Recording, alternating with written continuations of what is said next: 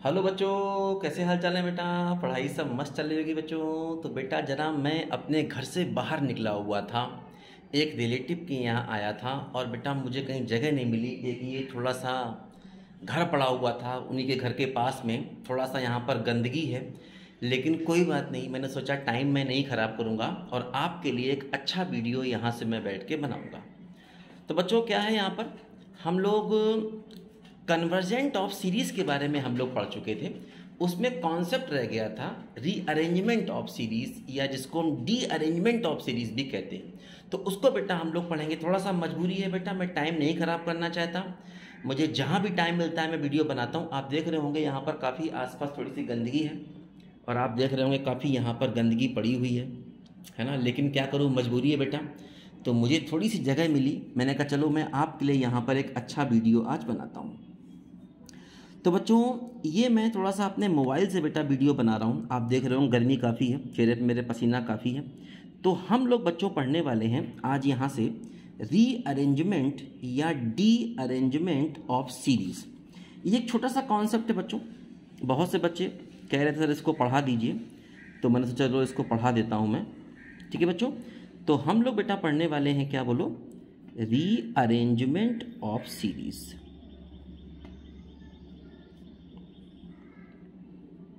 ठीक है? Rearrangement of series ये बेटा हम लोग इसमें आज यहाँ पर पढ़ेंगे।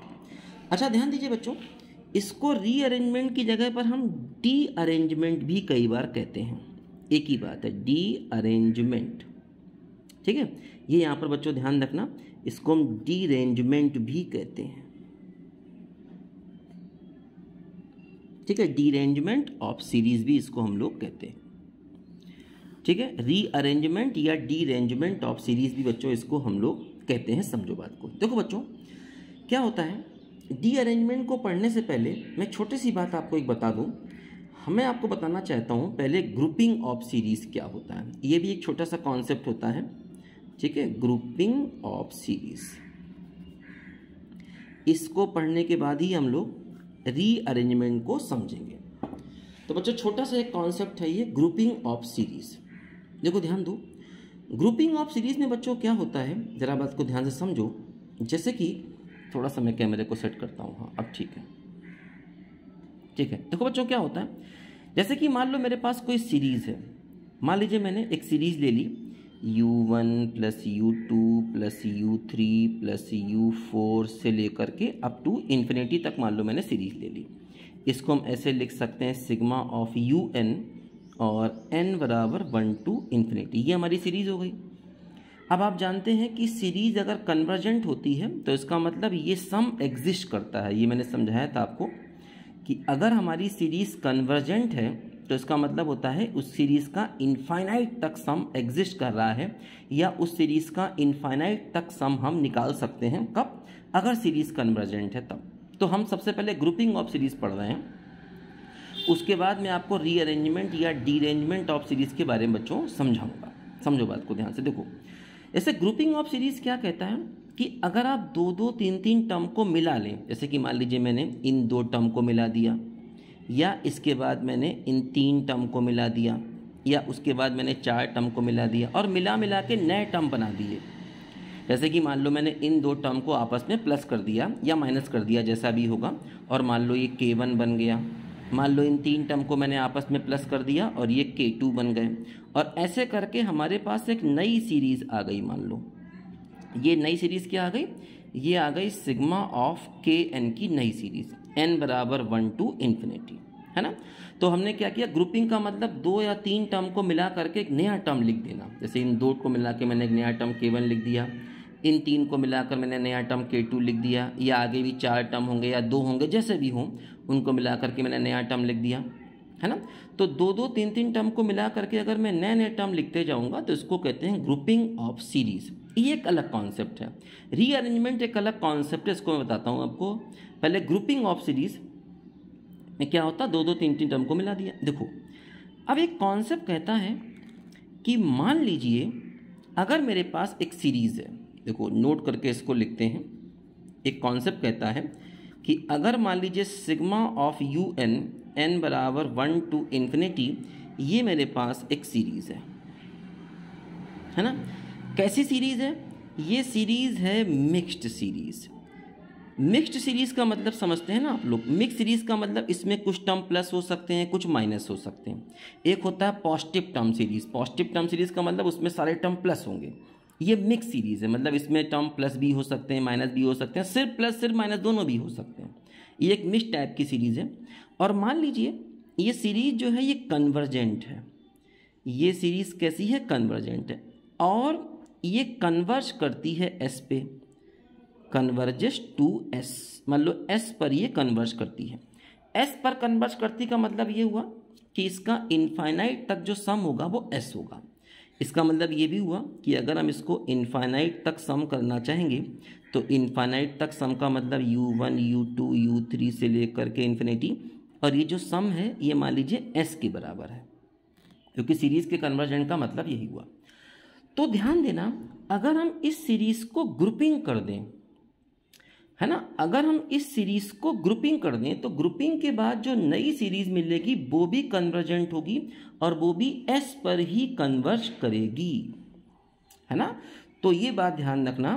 Then series obtained then series obtained by grouping ठीक है? Series obtained by grouping of terms series obtained by grouping of terms also converges to S मतलब ग्रुपिंग करने से कन्वर्जेंट पर फ़र्क नहीं पड़ता है। ये बात जरा यहाँ पर समझना ध्यान से। सीरीज़ को ग्रुपिंग कर दें मतलब दो दो, तीन तीन टर्म को मिला के नए टर्म लिख दें तो उससे क्या होगा बच्चों? कि कन्वर्जेंट पर फ़र्क नहीं पड़ेगा। अगर ये सीरीज़ कन्वर्जेंट है तो ग्रुपिंग के बाद जो सीरीज़ मिलेगी, वो भी कन्वर्जेंट रहेगी और एस पर ही कन्वर्ज करेगी। लेकिन ध्यान रखना, इसका उल्टा ट्रू नहीं है। इसका कन्वर्स ट्रू नहीं है। Converse not true converse not true का मतलब ये हुआ कि जैसे मान लो ग्रुपिंग वाली सीरीज़ अगर कन्वर्स कर रही है तो ज़रूरी नहीं है कि मेन सीरीज़ कन्वर्स करे। है ना? इसका उल्टा ट्रू नहीं है मतलब अगर ग्रुपिंग वाली सीरीज़ अगर ग्रुपिंग वाली सीरीज़ कन्वर्स कर रही है तो ज़रूरी नहीं है कि मेन सीरीज़ कन्वर्स करे। देखो, जैसे फॉर एग्जांपल अगर मैं एक सीरीज़ लेता हूँ सिग्मा माइनस वन की पावर एन एन बराबर वन टू इन्फिनिटी मान लो मैं ये सीरीज़ लेता हूँ। तो अब ये सीरीज़ में क्या होगा? एन को वन रखोगे तो माइनस वन टू रखोगे तो प्लस वन फिर माइनस वन फिर प्लस वन फिर माइनस वन फिर प्लस वन ऐसे करके आएगी सीरीज़ अब मैं आपसे कहूँ कि क्या इस सीरीज़ के इन्फानाइट टर्म का सम निकल पाएगा? तो नहीं निकल पाएगा। क्यों? क्योंकि देखो, वजह ये है यहाँ पर, इस सीरीज़ के इन्फानाइट टर्म का सम देखो यहाँ पर क्यों नहीं निकलेगा? क्योंकि प्रॉब्लम देखो यहाँ पर ये हो रही है कि अगर हम इसमें इन्फिनिटी तक जाना है हमको, अब हमें अगर इसमें इन्फिनिटी तक जाना है तो हमको नहीं पता इसमें कितने टर्म जैसे कि अगर मान लो इवन टर्म हुए तो कैंसिल होकर ज़ीरो हो जाएगा, है ना? दो दो दो मिलके कैंसिल होकर ज़ीरो कर देंगे अगर इवन टर्म हुए तो। और टर्म हुए तो ज़ीरो नहीं होगा। तो मतलब इस सीरीज़ का इनफाइनाइट तक सम पॉसिबल नहीं है मतलब ये सीरीज़ नॉट कन्वर्जेंट है। इस सीरीज़ के इन्फानाइट तक का सम हम नहीं निकाल सकते मतलब ये सीरीज़ कन्वर्जेंट नहीं है, क्योंकि इसमें इन्फानाइट का मतलब पता नहीं कि वो इवन है कि ऑड है। लेकिन अगर हम इस सीरीज़ में देखो, एक काम करें ग्रुपिंग करें। जैसे माइनस वन प्लस वन को एक साथ ले लें, फिर अगला माइनस वन प्लस वन को एक साथ ले लें, फिर अगला माइनस वन प्लस वन को एक साथ ले लें तो क्या होगा, सारे term zero zero zero zero होते चले जाएँगे। और ये एक ज़ीरो की सीरीज़ बन जाएगी। और ज़ीरो की सीरीज़ क्या है? कन्वर्जेंट है, क्योंकि उसका सम भी ज़ीरो होगा। जब सारे टर्म ज़ीरो हो गए तो सम भी ज़ीरो होगा। मतलब ग्रुपिंग से जो सीरीज़ मिली, वो कन्वर्जेंट है। ग्रुपिंग करके जो सीरीज़ मिली, वो कन्वर्जेंट है, लेकिन जो मेन सीरीज़ है हमारी, वो कन्वर्जेंट नहीं है। तो मतलब इसका उल्टा ट्रू नहीं है। यानी अगर कोई सीरीज़ है ना ग्रुपिंग के बाद कन्वर्जेंट हो गई तो मेन सीरीज़ के बारे में हम लोग कुछ नहीं कह सकते हाँ। अगर मेन सीरीज़ कन्वर्जेंट है तो ग्रुपिंग के बाद जो सीरीज़ होगी, वो भी कन्वर्जेंट होगी या डाइवर्जेंट भी कह सकते हैं, ये बात ध्यान दो। तो ये कॉन्सेप्ट होता है ग्रुपिंग का। अच्छा अब देखो, हम लोग ज़रा समझें, आखिर ये रीअरेंजमेंट क्या होता है। देखो तो बेटा मजबूरी में ज़रा मैं यहाँ पर बैठ के वीडियो बना रहा हूँ। क्योंकि ज़रा घर से बाहर निकला था रिलेटिव के आया था, जहाँ भी मुझे टाइम मिलता है, मैं बेटा वीडियो बनाने लग जाता हूँ, आप पहले भी देख चुके हैं सब चीज़ें, है ना? तो यहाँ एक टूटा फूटा घर है मतलब टूटा फूटा तो नहीं, घर तो साफ़ सुथरा है। साफ़ सुथरा नहीं मतलब घर बना हुआ है, लेकिन गंदगी ज़्यादा है। तो यहाँ पर देखो बच्चों रीअरेंजमेंट क्या होता है, ज़रा इसको हम लोग समझ लें। गर्मी भी काफ़ी है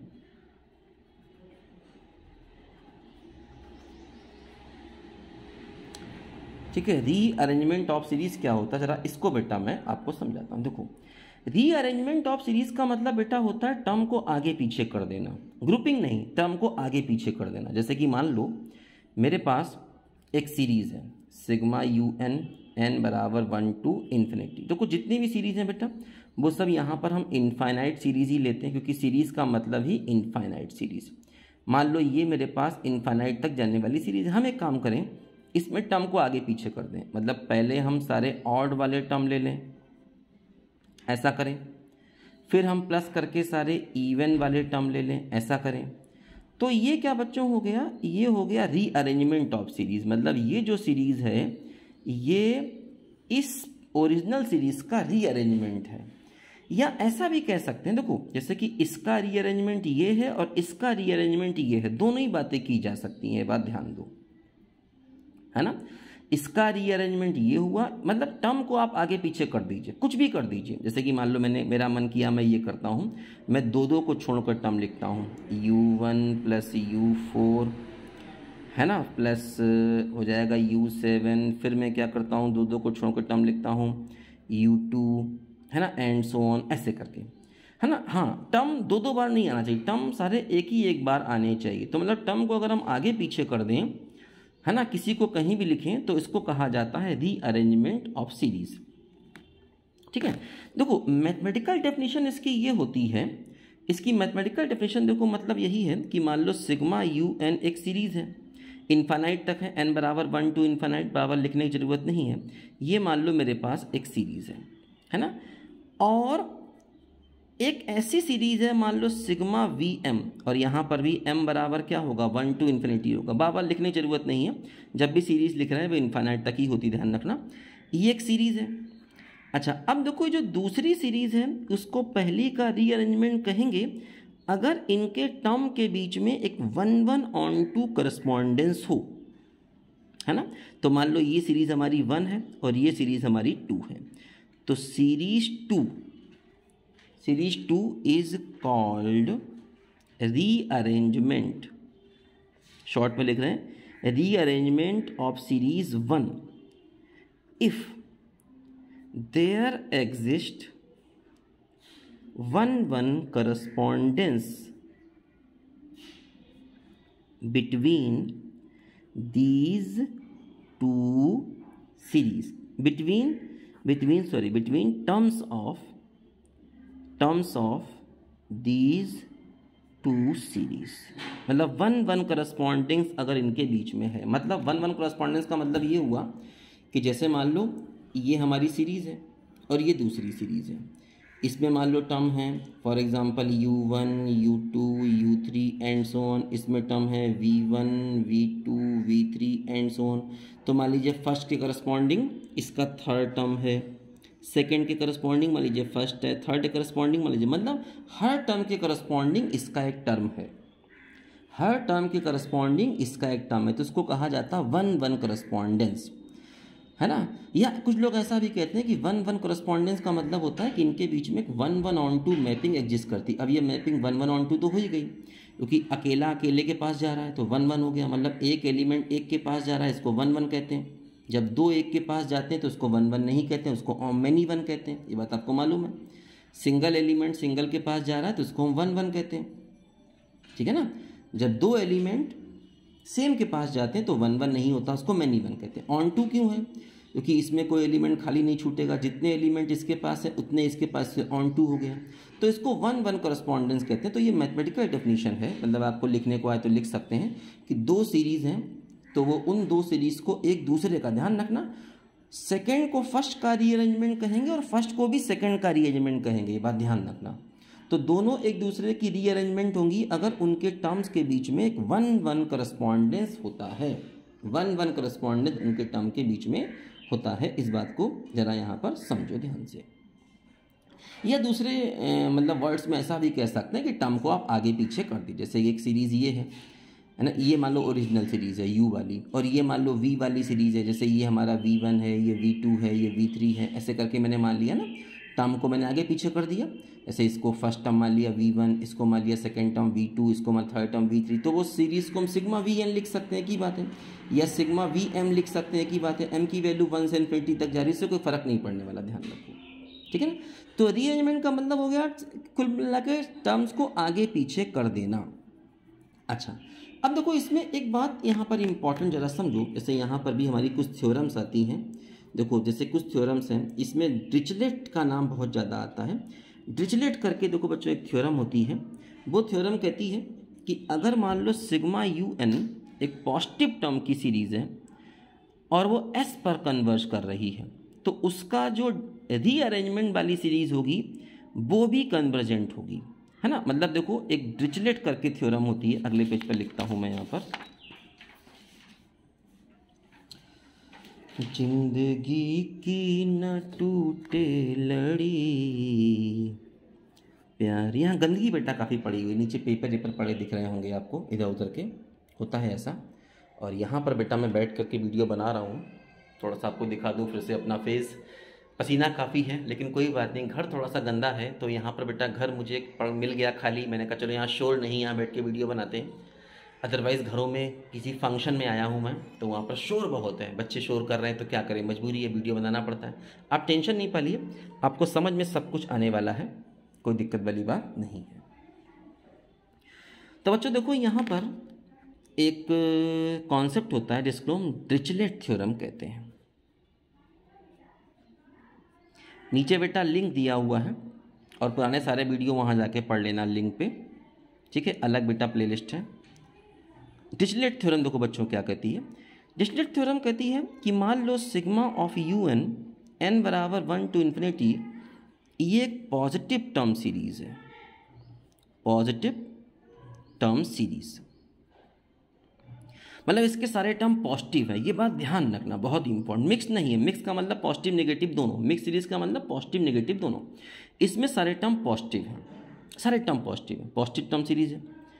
एंड कन्वर्जेस टू एस ये सीरीज़ एस पर कन्वर्ज कर रही है। तो क्या होगा? इसका कोई भी arrangement any rearrangement any rearrangement ठीक है? मान लो इसका रीअरेंजमेंट ये बनता है, मान लो इसके रीअरेंजमेंट से ये सीरीज़ बनती है तो any rearrangement also converges to S मतलब इसका कोई भी रीअरेंजमेंट की सीरीज़ लेंगे, वो भी कन्वर्ज होगा। ध्यान रखना, ये सीरीज़ पॉजिटिव टर्म की सीरीज़ है। है ना? एक बात और ध्यान रखना, जैसे जो पॉजिटिव टर्म की सीरीज़ होती है ना, वो अब्सोलूट कन्वर्जेंट अगर वो कन्वर्जेंट है तो बेसिकली वो अब्सोलूट कन्वर्जेंट होती है। क्योंकि जैसे क्या होता है अब्सोलूट कन्वर्जेंस में क्या होता है, जैसे कि मान लो एक सीरीज़ है, ये आपने पढ़ा है पहले सारी चीज़ें, पढ़ चुके हो, फिर भी रिवाइज कराता हूँ, मान लो एक सीरीज़ है, और ये कन्वर्ज कर कन्वर्जेंट है मान लीजिए कन्वर्जेंट का मतलब इसके इन्फानाइट टर्म का सम निकल सकता है, ठीक है? और मान लीजिए एक दूसरी सीरीज़ है, जो इस पर मॉड लगा के बना दी गई, इसके सारे टर्म पर मॉड लगा के बना दी गई, है ना? तो अगर ये सीरीज़ भी कन्वर्जेंट होती है बच्चों के रोने की देखो आवाज़ आ रही होंगी आपको छोटे मोटे बच्चे रोते रहते हैं सब।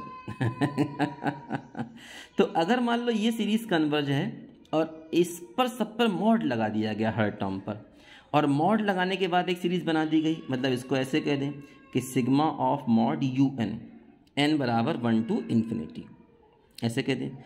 अगर मान लो ये भी कन्वर्जेंट है तो फिर कहते हैं ये सीरीज़ अब्सोलूट कन्वर्जेंट है। मतलब अगर हम क्या करते हैं कि उस पर मोड लगा देते हैं। किस पर? अगर मान लो मैं क्या करता हूँ कि अरे यार, बाप रे, बहुत हवा चल रही है। मेरे ऊपर बहुत गंदगी गिर रही है ऊपर से। हवा चल रही है, ऊपर से गंदगी गिर रही है। थोड़ा सा शिफ्ट करना पड़ेगा इधर को। चलो बाद में शिफ्ट करते हैं वीडियो कंप्लीट करते हैं पहले। ठीक है? ओहो हो बहुत गंदगी मेरे ऊपर हाथ पे देख रहे हैं ना? हाथ हाथ तो कितना गंदा हो रहा है। धूल के कण हाथ पर जम गए। डस्ट पार्टिकल हाथ पर जम गए। कोई बात नहीं।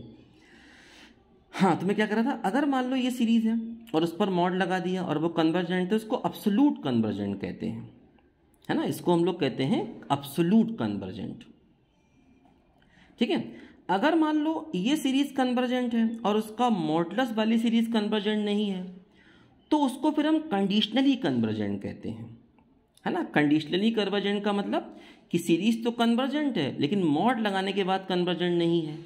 लेकिन अगर सीरीज़ कन्वर्जेंट है और मॉड लगाने के बाद भी कन्वर्जेंट तो उसको हम कहते हैं अब्सोलूट कन्वर्जेंट ये बात ध्यान रखो। इसको कहते हैं अब्सोलूट कन्वर्जेंट तो जैसे मान लो अगर कोई पॉजिटिव टर्म की सीरीज़ है और वो कन्वर्जेंट है तो क्या हुआ, अगर उसके सारे टर्म पहले से ही पॉजिटिव हैं तो उस पर मॉड लगाओगे तब भी वो सीरीज़ तो वही रहेगी, क्योंकि उसके सारे टर्म पहले से ही पॉजिटिव हैं। मॉड का काम होता है नेगेटिव टर्म को पॉजिटिव कर देना। तो अगर मान लो कोई पॉजिटिव टर्म की सीरीज़ है और कन्वर्जेंट है तो इसका मतलब उस पर जब हम मॉड लगाएँगे तो मॉड लगाने के बाद जो सीरीज़ आएगी, वो भी कन्वर्जेंट ही होगी। तो देखो, इसका मतलब बच्चों, ये हुआ कि पॉजिटिव टर्म सीरीज़ अगर कन्वर्जेंट है तो बेसिकली वो अब्सोलूट कन्वर्जेंट हो जाएगी, ये बात ध्यान रखना। पॉजिटिव टर्म सीरीज़ कन्वर्जेंट है तो बेसिकली वो अब्सोलूट कन्वर्जेंट हो जाएगी।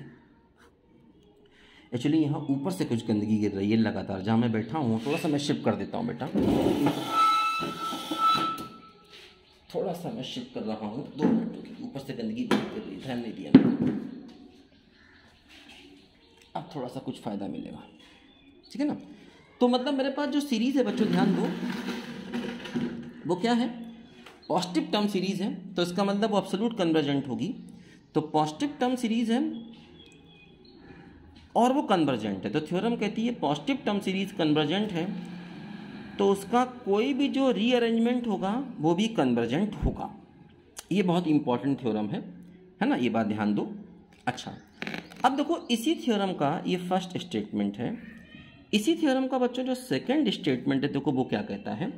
वो कहता है कि अगर मान लो सीरीज़ अब्सोलूट मान लो ये दूसरा टर्म कहता है कि मेरे पास मान लो ये एक सीरीज़ है और ये मिक्स टर्म की सीरीज़ है।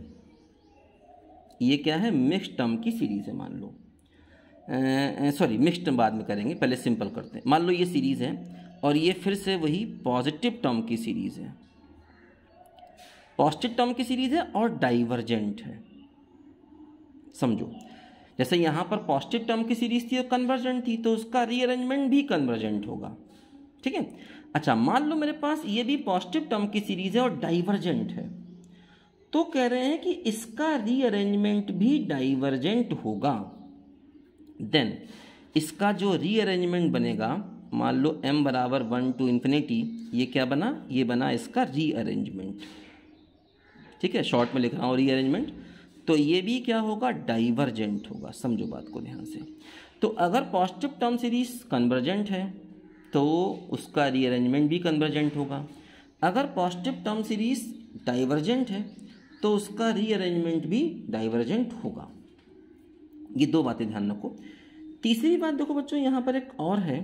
वो कहता है कि अगर मान लो सिग्मा यू एन है, और अब मान लो ये मिक्स सीरीज़ है, अब अभी तक हमने इन दोनों में पॉजिटिव टर्म सीरीज़ की बात की थी, यहाँ पर क्या है बच्चों? ये मिक्स सीरीज़ है।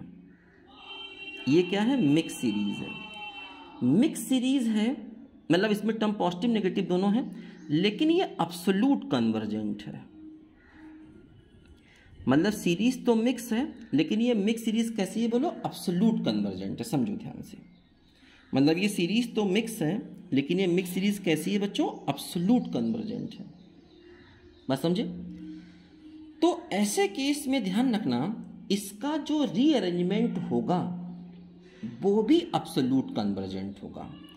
इसका जो रीअरेंजमेंट होगा, मान लो ये इसका रीअरेंजमेंट है ठीक है? ये मान लो इसका रीअरेंजमेंट है तो वो भी अपसोल्यूट कन्वर्जेंट होगा।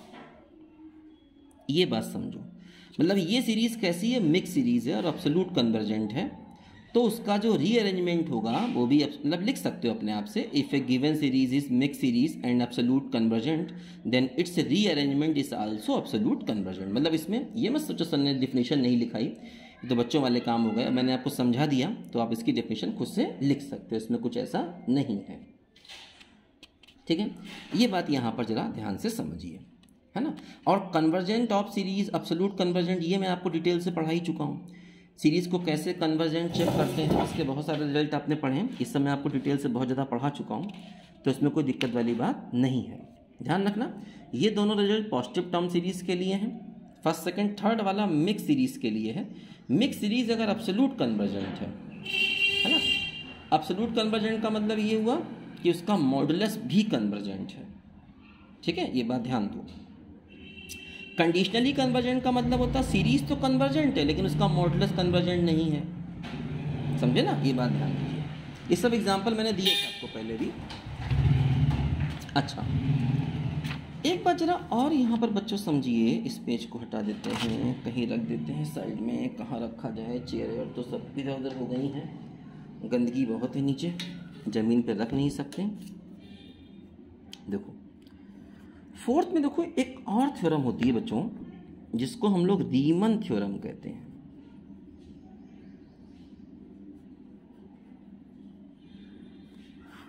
कई बार कुछ डिस्टर्ब हो जाता है, अब साफ़ आया होगा। इसको हम लोग रीमन थ्योरम कहते हैं। रीमन थ्योरम क्या कहती है? कि मान लो एक मिक्स सीरीज़ है। एक मिक्स सीरीज़ है, और ये मिक्स सीरीज़ जो है वो कंडीशनली कन्वर्जेंट है। ये मिक्स सीरीज़ कैसी है? कंडीशनली कन्वर्जेंट कंडीशनली कन्वर्जेंट का मतलब सीरीज़ तो कन्वर्जेंट है लेकिन उसका मॉडुलस कन्वर्जेंट नहीं है। ठीक है? कुछ डिस्टर्ब हुआ टच कर देते हैं, ठीक हो जाएगा। हाँ ठीक हुआ। सीरीज़ तो कन्वर्जेंट है, लेकिन उसका मॉडुलस कन्वर्जेंट नहीं है तो मतलब मिक्स सीरीज़ है। मतलब पॉजिटिव नेगेटिव दोनों टाइप के टर्म है सीरीज़ में। मिक्स सीरीज़ का मतलब उसमें पॉजिटिव नेगेटिव दोनों टर्म है, और कंडीशनली कन्वर्जेंट है। मान लो सीरीज़ तो एक बात देखो इंपॉर्टेंट समझो। तो कहते हैं कि then it's rearrangement can be made rearrangement can be made मतलब इसके रीअरेंजमेंट बनाए जा सकते हैं। इसके ऐसे रीअरेंजमेंट बनाए जा सकते हैं then it's rearrangement can be made which are which are number first convergent number second divergent. Divergent to plus infinity और minus infinity number third oscillate oscillate finite और इनफाइनाइट। देखो, बहुत इंपॉर्टेंट है। कह रहे हैं कि मिक्स सीरीज़ है कंडीशनली कन्वर्जेंट है। अब्सोल्युटली नहीं। क्योंकि अगर सीरीज़ अब्सोल्युटली कन्वर्जेंट हुई तो तो उसका कोई भी रीअरेंजमेंट बनाओगे, वो अब्सोल्यूट कन्वर्जेंट होगा। पिछले थ्योरम में पढ़ा हम लोगों ने। है ना? अगर सीरीज़ अब्सोल्यूट कन्वर्जेंट हुई तो उसका कोई भी रीअरेंजमेंट बनाओगे, वो भी अब्सोल्यूट कन्वर्जेंट होगा। अभी पिछले थ्योरम में पढ़ा। रीमन थ्योरम क्या कह रही है? ये कह रही है कि अगर सीरीज़ कंडीशनली कन्वर्जेंट है तो उसके अलग अलग रीअरेंजमेंट बनाए जा सकते हैं। मतलब मेरी मर्ज़ी पर है। हम उसका एक ऐसा रीअरेंजमेंट बना सकते हैं जो कन्वर्जेंट हो सकता है। एक ऐसा भी रीअरेंजमेंट बना सकते हैं जो कि प्लस इन्फाइनाइट या माइनस इन्फाइनाइट पर डाइवर्जेंट हो सकता है। एक ऐसा रीअरेंजमेंट बना सकते हैं जो कि ऑसिलेट कर सकता है। है ना? तो अगर कोई सीरीज़ कंडीशनली कन्वर्जेंट है then it's rearrangement can be made मतलब इसके ऐसे रीअरेंजमेंट बनाए जा सकते हैं जो कन्वर्जेंट हो या डाइवर्जेंट हो या ऑसिलेट कर सकते हैं। इनफाइनाइट या माइनस इनफाइनाइट पे वो ऑसिलेट कर सकते हैं। तो ऐसे इसके हम लोग रीअरेंजमेंट यहाँ पर बना सकते हैं। इस बात को जरा बच्चों यहाँ पर ध्यान से समझिए। फ़ोन किसी का आ रहा है यार, किसका फ़ोन आ रहा है, क्या करा जाए? रुक जाओ दो मिनट को बच्चों, देखता हूँ किसका फ़ोन है, कट गया है। ठीक है बच्चों, कट गया है। कोई बात नहीं, देखो बच्चों, ये मैंने आपको कुछ इसकी थ्योरम्स वगैरह पढ़ा दी हैं, जो कि बहुत ज़रूरी थी। और इसमें ज़्यादा कुछ बेटा क्वेश्चन होते नहीं हैं, क्योंकि इसमें क्वेश्चन जो हैं, वो वही सब हैं जो आप पहले कर चुके हैं कन्वर्जेंट अब्सोल्यूट कन्वर्जेंट डाइवर्जेंट वगैरह क्वेश्चन होते हैं, ठीक है बच्चों? तो इस वीडियो में बेटा इतना ही। हम लोग अगले वीडियो में मिलेंगे और कोशिश करूँगा अगला वीडियो में बोर्ड पर बनाऊँगा। टेंशन नहीं पाना, किसी का फ़ोन आ रहा है इंपॉर्टेंट बेटा। बहुत ज़रूरी है, जाना है फ़ंक्शन शुरू हो गया, बात करनी, ठीक है बच्चों? चलिए बच्चों बाय बाय